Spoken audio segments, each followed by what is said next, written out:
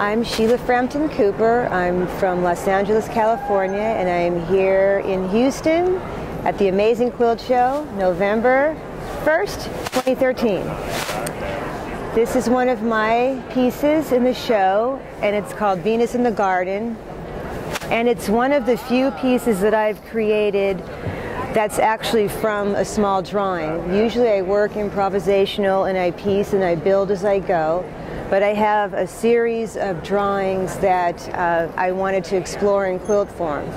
So this is using all of my hand-dyed fabrics and I initially projected my image onto um, large freezer paper and each piece is it's it's not applique it's a combination of applique and piecing so they're overlapping and then there's a tiny monofilament zigzag about one millimeter that's actually connecting the pieces.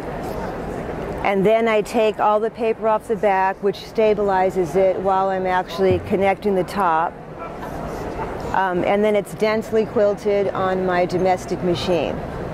Um, this piece was a real challenge because it's very large scale and I did a lot of straight line quilting, I found it to be more challenging on my body.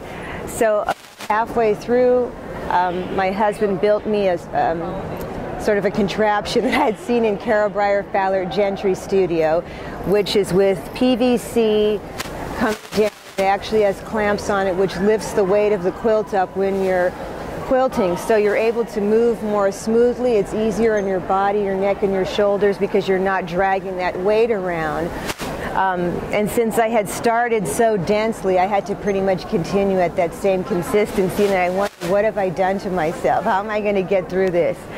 Um, but I did. I also used, I didn't match my thread color exactly like I've been known to do.